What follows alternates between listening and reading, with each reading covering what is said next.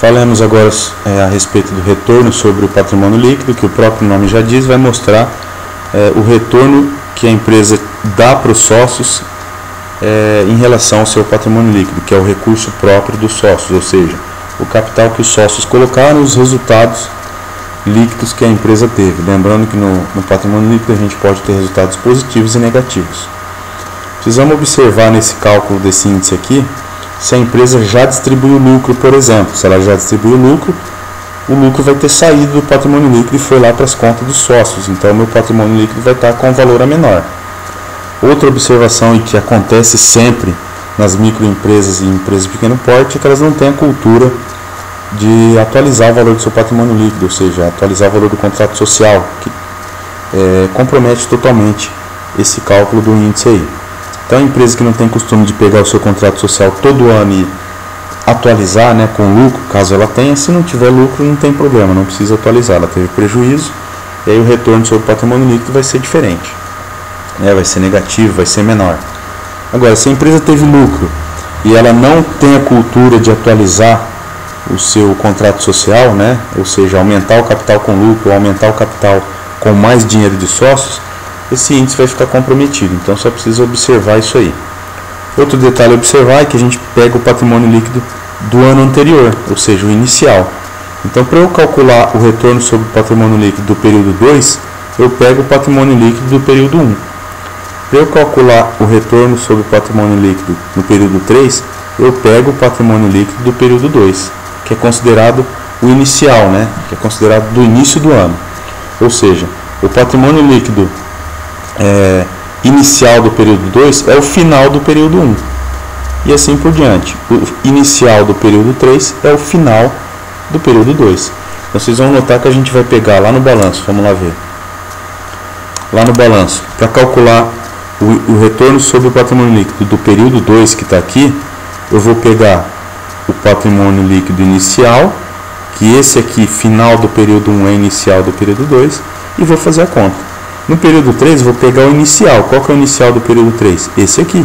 Esse que aparece no período 3 é o, é o final, né? o patrimônio líquido final. Ou seja, em 31 de dezembro, qual que é o patrimônio líquido do período 3? 3,682. Qual que é o inicial? 3,121.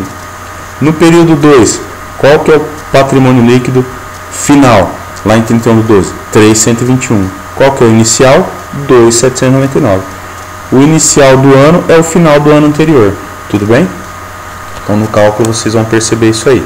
Então vamos pegar lá e fazer os cálculos com os resultados que a gente tem. Então vou pegar lá na BRE o meu lucro líquido, né, que é esse aqui, ó, o lucro líquido que a empresa teve, não o ajustado, tá? Vou pegar o lucro líquido que ela teve o 601 e o 753 e vou aplicar na fórmula.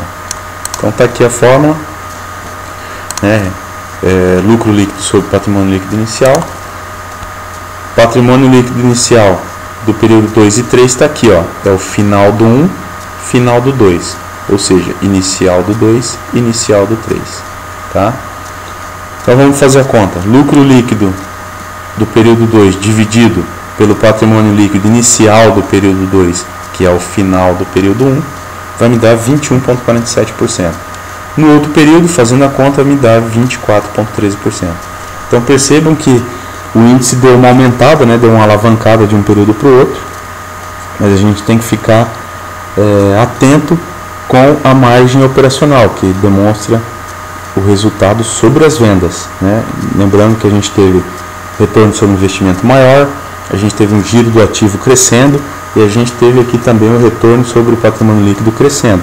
Porém, é, a empresa não está conseguindo transformar o que ela vende em lucro em maior parte, né, em, em um índice maior do que ela conseguiu nos demais índices. Então, o retorno sobre o patrimônio líquido demonstra isso aí. Quanto que a empresa está proporcionando de resultado percentual do lucro em relação ao que foi investido pelos sócios né, ou seja, o capital próprio. Lembrando dos detalhes que a gente precisa observar, que se a empresa já distribuiu lucro, eu preciso retornar esse valor para fazer o cálculo. E se a empresa não atualiza o seu capital social, eu não consigo obter esse percentual de forma correta. Tudo bem? Pessoal, isso aí agora tentem fazer o exercício que eu passei para vocês. né? Observando todos esses detalhes aqui, as aulas estão aí, podem assistir quantas vezes quiserem e depois podem tirar dúvida na sala de aula. Beleza? Um abraço, tchau, tchau.